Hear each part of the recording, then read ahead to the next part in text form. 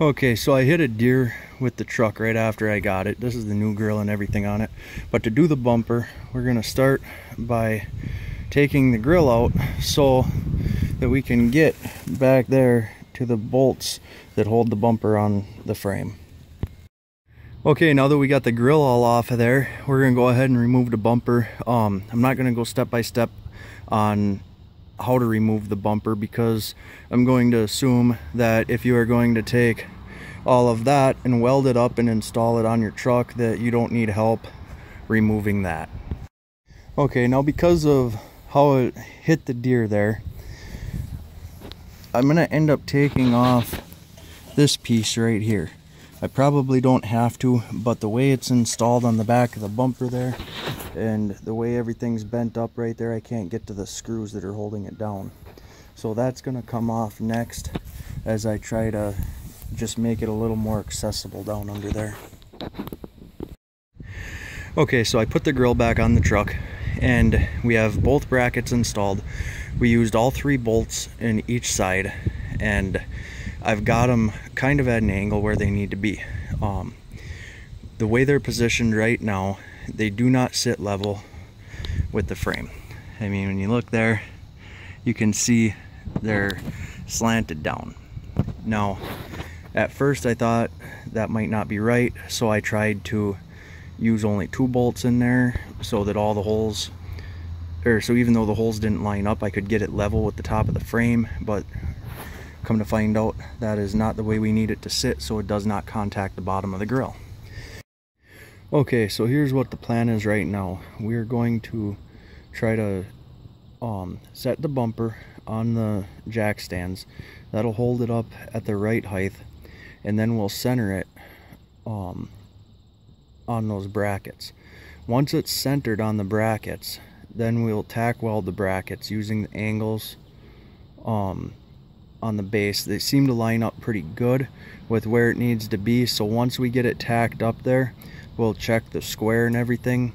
But the only thing I'm questioning possibly doing is just taking a small washer and putting a washer between there for while we mock it up because that'll make sure that if it bends a little bit um, while we're welding it if it sucks it in a little bit or something, we won't have problems getting it back on the truck. It'll give us that extra, I don't know, eighth of an inch to play with. So we'll see. Okay, so what I've done now is just taken a measurement on the inside of the uh, brackets on the truck and I marked it out with some soapstone on the center section so when I'm underneath there I can kind of have a reference point to where it needs to be to tack them up.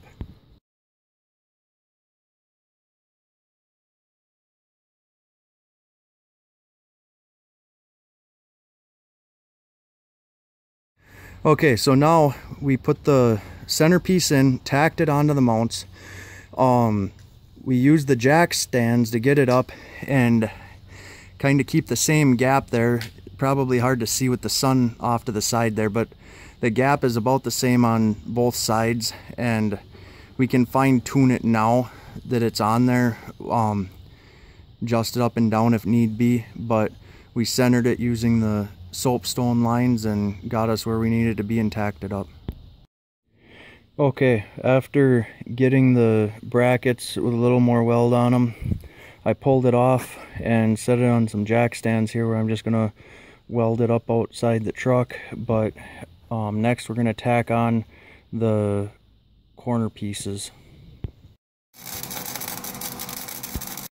Okay, so yesterday we got the sides welded up on there. Um, it was getting dark out.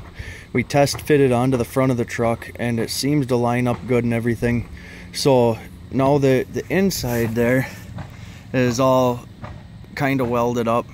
We're gonna go ahead and I'm gonna try welding the seams on the front here and all I'm using is this little 135 amp welder and it seems to be penetrating good enough for holding it tight so we'll keep going see what we have happen here and I'm going to try to get the patch plates welded into this area next so we'll see okay now we're going to put these patch panels onto each side here. Um, we already test fit the bumper, so we know the bumper fits on the truck. And where those are going to go right there, I don't think we're gonna have any fitment issues. So even though, set it in here with one hand, it doesn't fit perfect there. I think we're gonna tack it down on the seam there and just give her a couple taps down with the hammer and I think we'll be good. Okay, so after I tacked it in and I pounded it down, you can see the top of the flap goes underneath that side there, at least with this bracket. And I think that'll be all right. Um, once I fill it in with weld here, you'll never notice it. And I think the line should look pretty good. Okay, here's the driver's side patch panel. Now when I put the driver's side end piece on right here, I noticed that it wasn't bent exactly perfect. I mean, it was close, but it definitely wasn't bent as nice as the passenger side was. So because of that, I think is why you see the extra gaps there because at this angle right here is the one that seemed to be off. And I think if that would have been back just a hair, we'd be doing better. But this is mocked up to the truck to fit underneath the headlights and everything how it needs to go. And so what I'm going to do is I'm going to try to pound this flat so when you look at it there that will be straight across and level and then once we get that down we're going to have to fill in the gaps up top there and everything with weld. Okay, we took the bumper down, we welded the little patch plates in. Um, now we've got it back up and we're gonna put the final corner sections on there. Um, if you've got Silverado like this. I'm sure most all the other ones, Ford, Dodge, are probably going to be the same, but I'm going to have to cut that inner fender on there. Uh, when I hit the deer on the other side here, that inner fender's already ripped, so um, I've got a new one to go in. I'm going to have to modify that to fit just perfect anyways. So we'll go from here and see how we can get these next pieces in. I held them up and they look like they're going to be pretty straightforward. So what I'm going to do is I'm going to tack over or tape over the lights and cover them up so they don't get any splatter on them. But then we'll just tack weld those end sections on and see how they fit. Okay, we've got our brand new headlights taped off so that they don't get any weld splatter on them while I tack these in.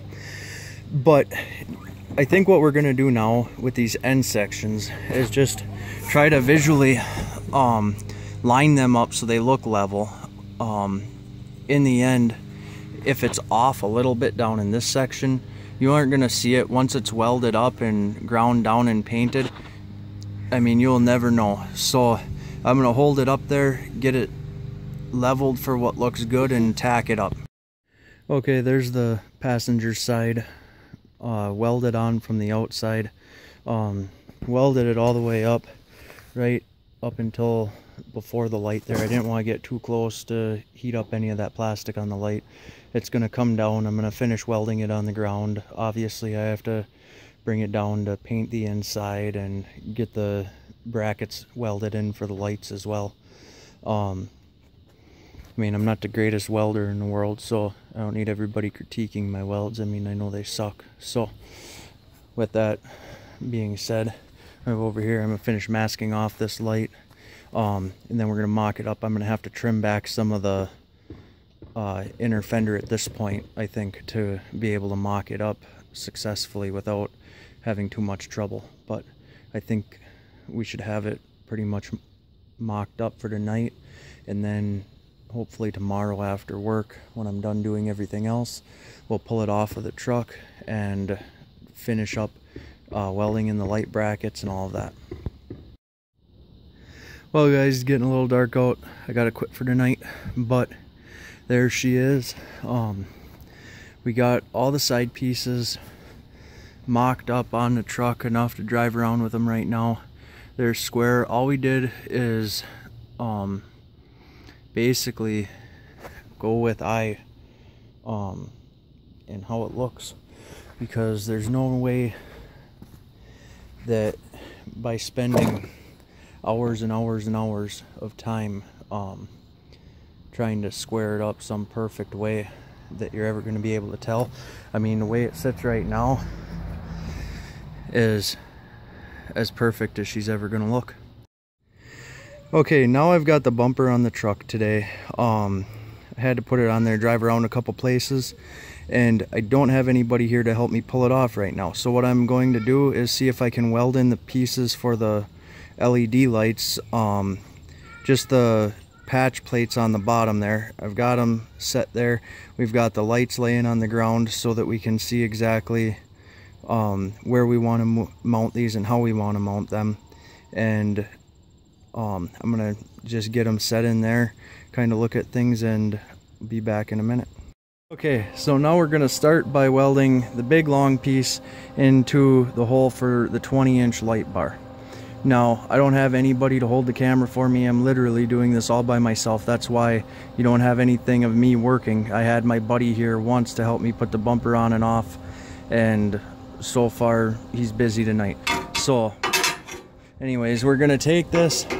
I'm to set it in there, tack it into place, hit it with a square. Make sure that we are um, square between there and where the bumper will be and once that's done we'll run a bead all the way across on it okay we set it in there got it tacked in in two places and now throw the level up there or the square up there and see that we have that plate in there um, square with the rest of it and so now I'm gonna throw another weld down on this end and work my way across and get that uh, held into place nice and solid. Okay, now we've got the uh, large piece welded in there. And so once we take the bumper back off, I'll align the light in there and show you guys how to square that all up and weld that in. Now, on these pieces here, or on these holes here, we've got these kind of um, angle cut, um, almost half triangle shaped pieces. Now, that's gonna have to go in there and um, they show you on your directions how to put it in there. But I was looking at it here and I'm thinking what I'm gonna do is take these and weld this piece up first because this piece is going to go in the side there and kind of close it off. But I think by welding them up first, um, like that, we will be able to get the correct angle for this piece once it's in there. Because of the angle that, we're working with here, it's not, you can't just put a square on there and square it up. So, like I said, I'm gonna, think I'm gonna weld these to there. And after I get a couple of these tacked up and see how they fit, I will show you what's going on. Okay, so what I did here is I took a magnet and we squared these off. I tacked them in a couple spots to double check and make sure and they seem to be perfect. Now, what it looks like and what I'm seeing is that this um, plate here actually comes past the corner of this bottom one by just a hair. But I think it all has to do with the angle you have going this way and keeping it straight there. So um, I'm gonna throw another tack on this one and move on to the next one kind of make them all up um, just double checking to make sure this one is the same okay now we got um, that plate tacked up inside of one of the light holes here you can see that um, we lined it up so that this is you know, centered right there and then we put it on top of the plate and didn't butt it up with that. That gives us right to the corner there. Now, when you look at it, um, it's giving you enough clearance. I'm trying to do this one-handed, so I apologize. But gives you enough clearance to get your light right inside there.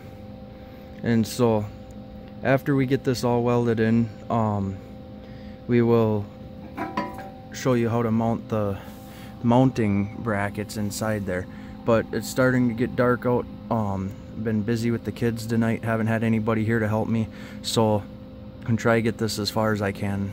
So um, I'm gonna shut this off for now, get some welding done, and if not any more tonight, I will be back tomorrow. Okay, now what I've done is I've measured in an inch and a half from the corner here, and that's gonna be about where our um, brace is. And you can kind of see the spots where the metal got heated up a little bit when it was welded on so you should be able to get a pretty good idea um, without too much trouble figuring out where that is now um, like I said we're gonna bevel the edges here we're just gonna take our grinder knock it down and then these here think you're gonna mount right about like that. Okay, we have the edges all beveled and they're ready to get welded on. Um, now what I'm thinking here, and probably common sense to most people if you're doing this stuff, but I mean, like I said, the reason for beveling it is you want the strongest mount possible. But when we put it up here, you're gonna wanna put it with the long piece down, at least on the Silverado bumper here, because that is going to run right along with the mount going to the frame. So you're getting all your strength right there um, down this bottom runner. If you were to put it up like this, you've only got that short little area that's going to be pulling on that mount and the top of it there is going to be able to pull down. There's nothing there. Now, probably do fine, but for a heavy duty application, if you really want the strength there, you're going to want to mount it like that. Now, um, I'm going to go measure this and what we're going to do is this line is the same all the way down there. We're an inch and a half over here. Um, I'm going to put the chalk line just inside the bevel. Um, I'm going to make another mark right down in this area and we're going to get that set up there and just make sure it's square right down that line just measuring from the seam in an inch and a half. And after we do that we'll do the same over there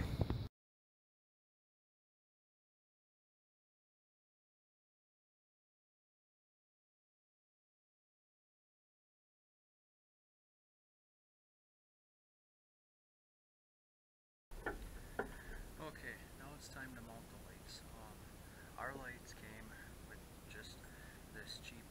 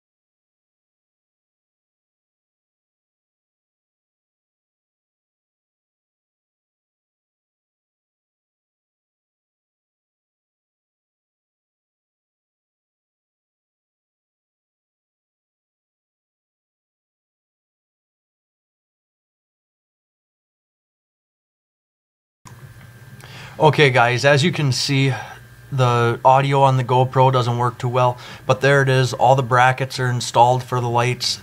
Um, I've got it already primered and painted and back on the truck. I wanted to get videos of it. I don't have the light bars installed yet, but I'm going to go mount them in there in a little bit and then we'll have the video of that. But hopefully you guys understood what I was doing for installing the little brackets there. It's really not that hard. I mean, I did this pretty much entirely by myself with no help. And, you know, with minimum tools, there's no reason you guys can't do it too. All you need is a little bit of experience welding, running basic power tools, and a little bit of common sense, and I think you guys will get it.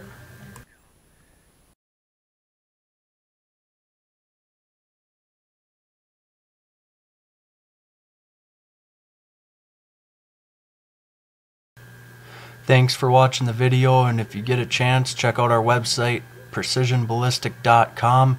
We make custom Kydex gun holsters and specialize in helping churches set up security teams. Thank you.